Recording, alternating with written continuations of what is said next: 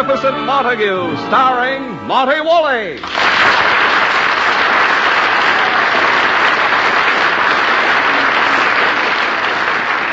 Yes, it's the Magnificent Montague, the Saturday night transcribed feature on NBC's All Star Festival of Comedy, Music, Mystery, and Drama. Brought to you by RCA Victor, world leader in radio, first in recorded music, first in television, and by the makers of Anacin for fast relief from the pain of headache, neuritis, or neuralgia.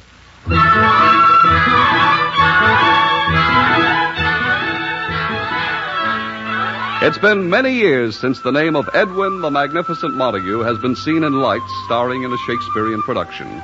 Today he is Uncle Goodhart, hero of an afternoon radio program. It is early afternoon. Montague, having finished his program, is expected home momentarily.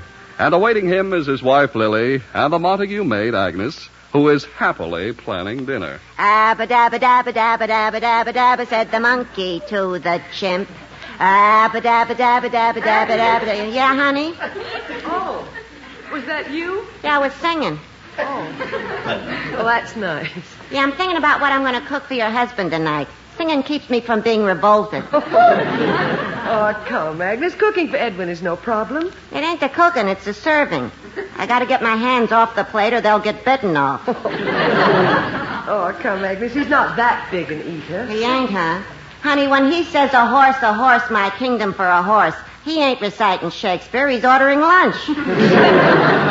Well, have you decided what to make for dinner? Let me see now. Maybe a nice thick sirloin steak. Oh, good. Edwin loves steak. He does, huh? Well, then that's out. Oh. Now, really, Agnes. Don't you think it's time you and Edwin called a stop to this bickering and shook hands? Honey, the day I came to work here, It's so senseless. This has been going on for 25 years. Why? why? Because for 25 years I've been asking him to do me one little favor, and he always refuses. Well, what do you want him to do? Oh, stop. I know the two of you just live to argue with each other. Now, why don't you run down and get three nice steaks for dinner? Three steaks? Okay, I'll go buy 'em. Give me your jewels to hawk. Oh, is meat still so expensive? Expensive? It's cheaper to eat a mixed green salad made of $50 bills. Really? Oh, that butcher of ours, is he riding high? He don't even cut the meat himself anymore. He's got a surgeon from John Hopkins working at the meat shop. Oh, that's silly. All the butcher does is weigh the meat. His thumb is insured for $400,000. Oh, now stop being ridiculous. You've always gotten along with the butcher. Oh, someone's at the door. I'll get it. Well, well, hello, Mr. Zinzer. Oh, hello, Agnes. It's Mr. Zinzer, the director of Montague's radio program. Well, come in, Mr. Zinzer. Hello, Mrs. Montague. I came to see Mr. Montague. He isn't here yet. He went to his proscenium club right after the broadcast. Oh, fiddle faddle. Well, what is it? Uh, can I help? Oh, no, it's very personal. Oh, Mr. Zinzer, you can tell me. well, it's not the kind of thing I like to discuss. Mr. Zinzer, we're old friends. You can tell me. Go ahead. well, my wife. Oh, I shouldn't be saying this. Mr. Zinzer, out with it. What is it? Well, my wife is expecting. Mr. Zinzer, a baby? What'd you think, a Maytag automatic washing machine? Oh, that's wonderful. But tell me, Mr. Zinzer, what has this got to do with Edwin? The suspense is killing me. Agnes. Well, you see, my wife, Mrs. Z, is a great admirer of your husband. She listens to him as Uncle Goodhart on the radio, and she thinks he must be just as sweet and kind in real life as he is on the radio.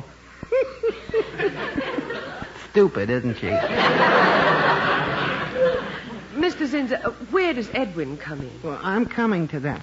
You see, my wife's in the hospital right now. You mean, Any minute. well, shouldn't you be at her side? Well, I guess so, but she made me come over here to ask Mr. Montague to be.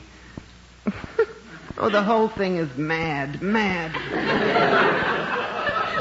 She wants Edwin to be what? The baby's godfather. Edwin Montague, the godfather of a baby? Fat chance of that happening. I know. I tried to explain to my wife, Mrs. Z, that Mr. Montague is, um, well, not the sentimental type. He, he's, he's more like, um, uh, Say it, a monster. I, I told her not to bother him, but you know how women are in her condition. they want the craziest things sour pickles, ice cream, salami. I know. And she wants Montague. How about that? I'm terribly sorry, Mr. Zinzer, but knowing the way he feels about oh, it. Oh, I understand. it. Well, some men love children, like yourself. Yeah, I should. This'll make ten. Ten kids. Stranger than fiction. I love kids. I hang their baby shoes on the windshield of my car. Really? Mm. I gotta drive with my head out the window. You'd better get back to your wife in the hospital. I can't. I've got to go home and take care of the kids. Oh, but, but she shouldn't be alone in the hospital at a time like this. Uh, she don't mind. We got nine more kids at home. Lying in the hospital having a baby is the only rest she gets. Well, Agnes, we'll go up and see Mrs. Zinzer this afternoon. Oh, she'd like that. She's in room 204 at the Riverside Maternity Hospital. Room 204. Remember that, Agnes. 204. We'll see her every day. Oh, she'll only be there until the baby comes. But, Mr. Zinzer, she can't bring a new baby right into a house that already has nine children. I know, but she hates hospitals. What can I do? Well, she and the baby ought to be in a quiet place for a week or so. Someplace where people can wait on her. Mr. Zinzer, I have it. You have? She can stay here. Honey, are you nuts? No. Mrs. Zinzer could have the guest room, and we can use Edwin's den as a nursery for the baby. Honey, you can't have a baby spend the first week of its life in the same house with Montague. It'll warp its mind. Thanks, Mrs. Montague, but it'd be too much trouble. Trouble? A baby in the house. Oh, it would be wonderful. I'm so excited. Agnes, let's start making arrangements. A bassinet, diaper service, bottle warmers. And a straitjacket.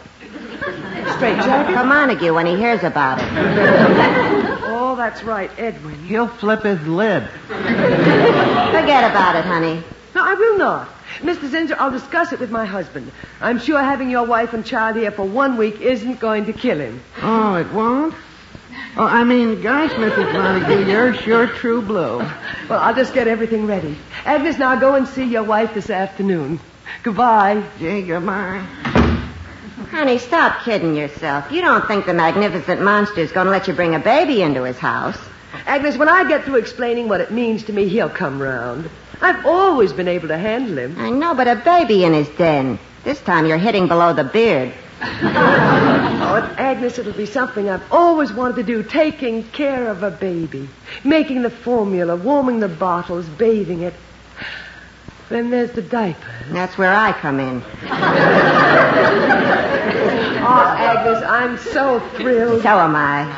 That's Edwin. The thrill is gone. Agnes, let Edwin in. Must I? Okay. Here he is. Hello, Agnes. Hello, Lily. Hello, Edwin. Oh, my, you look happy. Isn't it a lovely spring day? Beautiful. I just walked through Central Park. It's alive with blossoms and flowers. As I walked, I hummed, Hark, hark the lark. Well, shake the larks out of your beard and sit down. Ah, Lily, I can't wait until the 4th of July when we can stand in front of the house and fire Agnes. Tinkle, tinkle, tinkle. Here comes the bad humor man. Agnes. Lily, I just remembered it's daylight saving time. Let's turn Agnes back to the junk man. Now, stop that.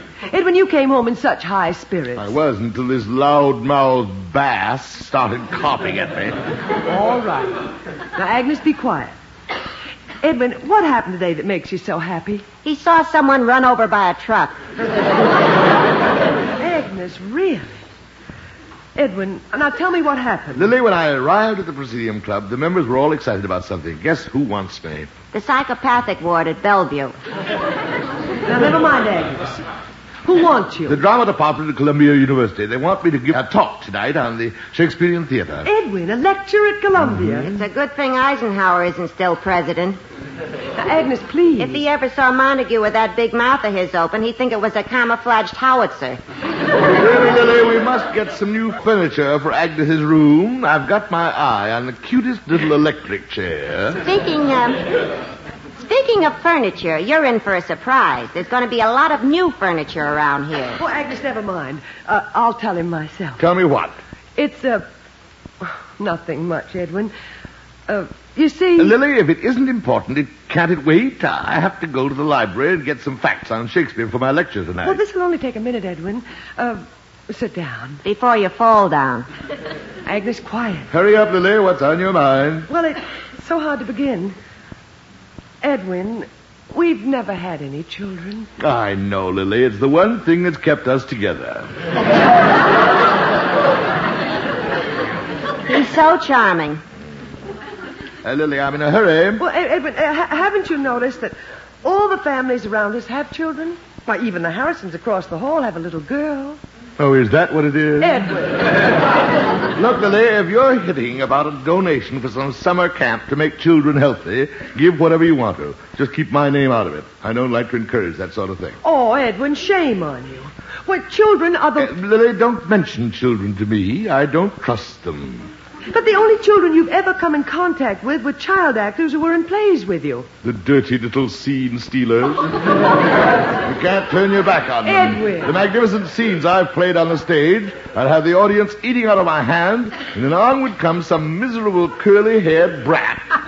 Lisp out two words, the audience would ooh and ah, and I'd be left standing there with my face hanging out.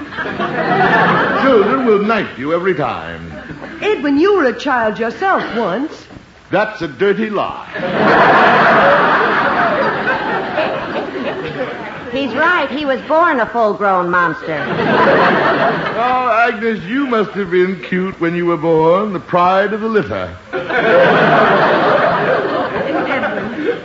Edwin, don't be surprised to wake up some morning and hear the patter of little feet. I knew it. The mice are back. Edwin, let me tell you. Lily, I have a lecture tonight. If you're going to waste my time babbling about children, Honestly, Edwin, you're the most exasperating man in the world. Yeah. you stay out of this, Agnes. Just take care of your own duties around here a little better. Where are my clean shirts? They haven't come back from the laundry yet. Oh, no, I have to lecture tonight. Take it easy, Mr. Montague. The shirts will be here today. Well, they'd better be. Well, they will be. Oh, and it was such a beautiful day. Goodbye. Goodbye. Parting is such sweet sorrow. Go quiet. Well, honey, there goes the Godfather. Oh, oh he can be so impossible. Oh, now, honey, don't don't take it that way. Just give me the word, and I can cook 'em a dinner that'll end it all.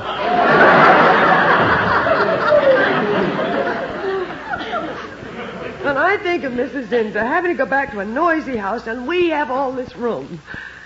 Agnes. What? I don't care what Edwin thinks or does about it. We're going to have Mrs. Zinzer and her new baby right here. I'm with you, honey. Well, we can't waste a minute. Now, look up a diaper service. Okay. And we went to crib, a bathroom We'll need baby oil, talcum powder, scale. Here's the diaper service, Cosmopolitan Diaper Service. I'll ring 'em. Hmm. We'll, we'll order more milk. I'll get a book on how to make formula. Oh, Agnes, I am so... th- Hold it, honey. Hello? Cosmopolitan Diaper Service? One moment. Here, honey. Uh, hello. I'd like to start the diaper service immediately. Yes, yes, I'll hold the wire. Uh, uh, she's getting an order blank. Agnes will have to rush right up to the hospital to be with Mrs. Zinzer.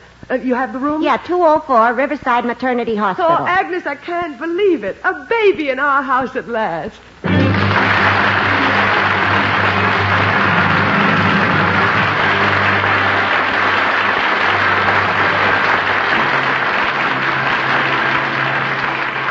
We'll be back with the magnificent Montague in just a moment. Here's a word from RCA Victor. What the fireplace was to early American homes, the television set is to modern American homes. It's the center not only of your life, but your living room. So be smart. Insist not only on RCA Victor million proof television, proven in well over 2 million homes, but on RCA Victor million proof television in a console cabinet. You have your choice of a breathtaking variety of RCA Victor console models. Every one a furniture masterpiece, worthy to occupy the most important place in your living room. Period models like the Regency and the Rutland and the Hillsdale. which look like treasures straight out of an 18th century palace.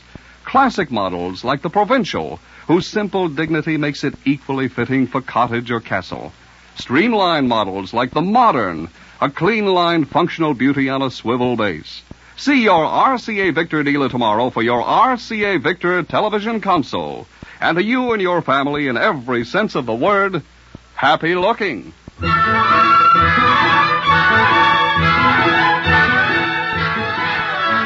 And now back to the magnificent Montague. He is returning from the library full of facts for his lecture, but he returns to an empty house. His wife Lily and Agnes are at the hospital awaiting Mrs. Zinzer's blessed event.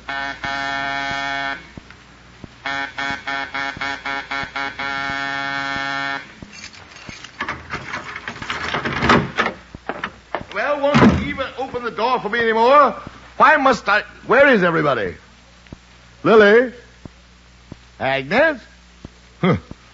Fine welcome. Just when I wanted early dinner to give me time to get over to Columbia University, they, they're out shopping or something.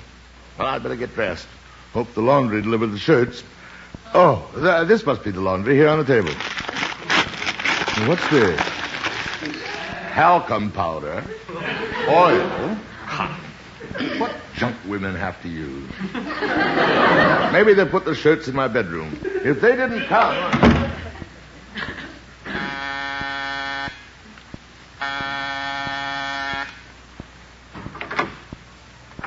Cosmopolitan Diaper Service.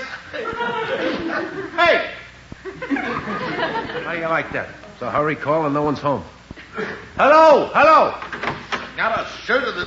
Oh, there you are. Cosmopolitan. Well, it's about time. I got here as soon as I could. Your wife phoned. Good. Where are they? I got them in the truck. In the truck? I gotta put one on right away. You? Who do you think they were for? Well, live and learn. If you still wear them, you still wear them. Will you hurry up? I'm lecturing at Columbia tonight. Do you want me to stand in front of the entire drama department without one on? No, no. Don't just stand there with your mouth open. Get them. This is a formal affair. I hope they've been starched. Starched. Starched? This is a new complaint. It's always they ain't soft enough. Do you mind if I like them stiff so they don't wrinkle and fit nice and snug? They'll fit you nice and snug. Good. Then please bring them on. Okay, first I better bring in the can. Can? What can? No charge for the can. It's part of our service. A can? Yeah, well, you can throw the used ones. Oh, never, never mind. I just throw the old ones in the closet. In the closet. Yes. Well, anything wrong with that? No, it's your closet. Thanks. Thank you. Now get them. I hope the buttons are still on. Buttons? Look, with our kind, you just need safety pins. Safety pins on a shirt. Shirt? Hey, what are you talking about? My shirts. Aren't you delivering laundry? Look, mister, I'm from the Cosmopolitan Diaper Service. Diapers. You've got the wrong apartment. No, no, no, I ain't. Ain't this the apartment of Mr. and Mrs. Edwin Montague? Here, look at the order. Lily Montague. Lily Montague. Well, she probably had it delivered here because someone in the building wasn't home. She probably left a note about it. Oh, yeah, here, here's her note. On the telephone stand, it says, it says, Dear Edwin, you can reach me in room 204, Riverside Maternity Hospital. What's the matter with Lily lately? Bending my ear about children. I, I find baby powder and oil all over the house, the diaper service. Now she's in room 204 at the Riverside Maternity...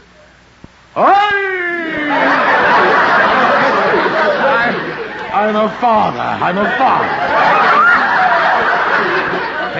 Take it easy, mister. I'm a father. I'm a father. Here, here, come here. You better lie down. Oh, thank you. Congratulations. Me, father. I can't believe it. Lily, I must call. Lily, where's the phone? Oh, here. What's the matter with this telephone? And mister, you're dialing a bridge lamp. Well, I'll make the call for you. What's the number? Here, the note.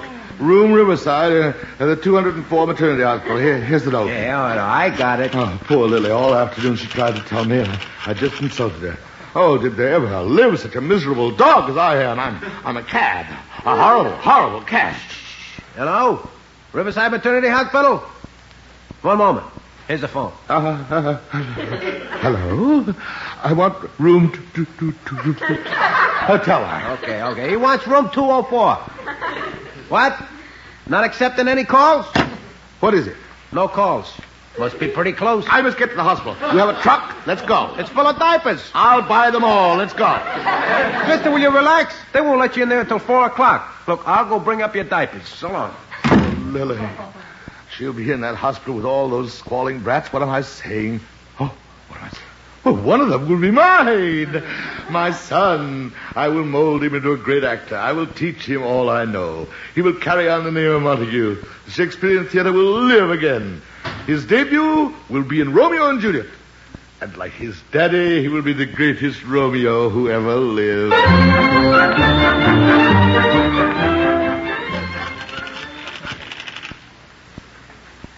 Hello? Harvard University? We'll take this down. I wish to register Master Edwin Montague Jr. in the class of 1970. Thank you.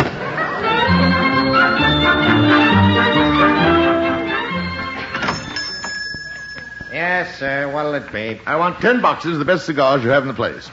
Ten boxes. I said ten boxes. For your information, I'm about to become a father. You Yes. have a box on me.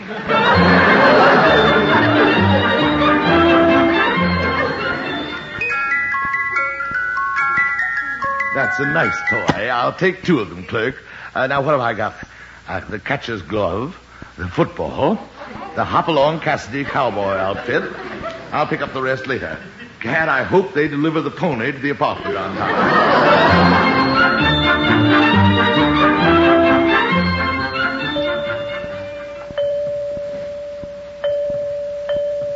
Uh, doctor, for heaven's sake, what's happening in room 204? Not you again. I told you all we can do is wait. I've been waiting for four hours. You'll have to wait it out just like the other fathers here in the waiting room, and don't bother me anymore. Don't be impertinent, young man. I'll report you. I'm in radio. I'm a very close friend of young Dr. Malone. Please, look at my hands. They're shaking. Have another sedative. Hurry, Doc. Room 204. Something's cooking. Coming. Agnes. Oh, so you decided to show up after all. Show up? Where should I be at a time like this? Agnes, wait. What's happening? They just pushed the bed into the delivery room. Delivery room. Quick. How is Lily? Lily's fine. She helped him push the bed in. What, what kind of a hospital is this? Agnes, when you see Lily, tell her I'm sorry for the way I spoke about children this afternoon. It's time you were sorry, you beast. Agnes, wait! Oh, this waiting. This eternal waiting. Uh, excuse me, mister. You got a match? Here, keep the box. Thanks. You nervous? What do you think? I shake like this all the time? This your first? My what? Your first. Your first kid. Oh, yes, yes. Uh, my name's Simon. Rudolph Simon. The name mean anything to you? Simon? Rudolph Simon. No, I can't say it does. What's the matter, Whiskers? Don't you read the newspapers, don't you? The newspapers? You're in the newspaper? Every year, like a clock. Rudy Simon does it again. Triplets, twins, quadruplets. I'm high score for this hospital. Oh, you're that Rudy Simon. Remember me now, huh? Ah. you know the way I figure it? If people don't even remember you for a thing like that, is the whole thing worth it? Simon, believe me, at any other time I'd try and figure out that statement. Right now, I'm too nervous. And you know the most amazing thing? Well, what? Me with twins, triplets, quadruplets, schmadruplets. Would you believe it? When I play a slot machine, nothing happens. yeah, take the other day. Okay, Mr. Simon, it's a boy. How many? Only one. You kidding? No, only one. How do you like that? And I passed up a pinochle game just to be here tonight. Doctor, please. Sorry, no news from room 204. Gad, I hope Lily realizes the torture I'm going through. Oh, hello, Mr. Montague. Zinzer!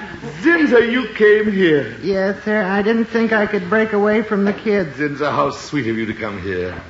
Well, I thought it was my place to be here. Zinzer, I'll never forget you for this. You won't? It's in times like these that a man finds who his real friends are. I have a friend. You have? Where is he? you! Me? Oh, it was terribly sweet of you to be here, Mr. Montague. Zinzer, uh, it's my place to be here. It is? Sir, when she comes out of the ether, I'm going to be right to her side. Well, she'd like that. She's crazy about you. Imagine Zinzer, I, Edwin Montague, after all these years. Okay, folks, the waiting's over. Agnes! It's a six-pound bouncing baby girl. A baby girl, Zinzer, did you hear? A baby girl. Edwin, isn't it wonderful? Wonderful. Why, it's, Lily! Get her back to bed. Oh, Lily, are you crazy? What kind of a hospital is this? Give me the head physician. now, Edwin, quiet. Mrs. Zinzer is asleep. Mrs. Zinzer, is she here too? She did. She just had the baby. Mrs. Zinzer had our baby.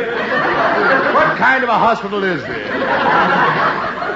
Edwin, what are you talking about? Lily, the diaper service, the baby oil, the pony, the patter of little feet. Well, that's right. Mrs. Zinzer and the baby are going to stay with us for a week.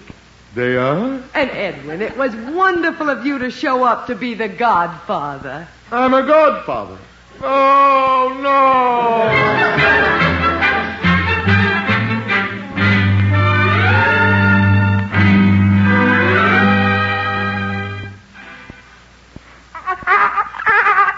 Four o'clock in the morning, Lily. What did you do asking them here? Edwin, go back to sleep. Oh, who can sleep? Mrs. Zinzer in the guest room, the baby in my den. Now, Edwin, stop crabbing. You're the godfather. Wasn't it sweet of them to call the little girl Edwina? Lily, stop with that slushy sentiment. Go to sleep. Baby, stop crying. Must say, Edwin, little Edwina certainly seems to like you. Really, Lily, of all the stupid things to say, that a tiny little baby knows enough to recognize. Lily. Lily. She's asleep.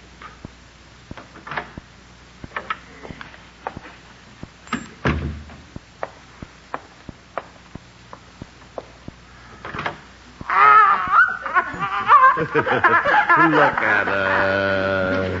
Look at her. Edwina, it's me, Uncle Eddie. kitchy, kitchy, kitchy, coo. oh, listen to that voice. Gad, she will be the greatest Juliet of all time.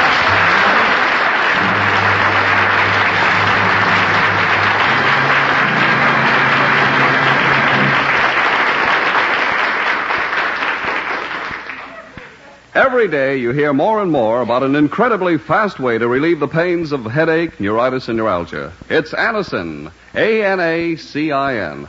Now, the reason Anacin is so wonderfully fast acting and effective is this. Anacin is like a doctor's prescription. That is, Anacin contains not just one, but a combination of medically proven active ingredients in easy to take tablet form. Thousands of people have received envelopes containing Anacin tablets from their own dentist or physician, and in this way discovered the incredibly fast relief Anacin brings from pains of headache, neuritis, and neuralgia. So the next time a headache strikes, take Anacin. A-N-A-C-I-N. Anacin in handy boxes of 12 and 30, economical family-size bottles of 50 and 100. Ask for Anacin at any drug counter.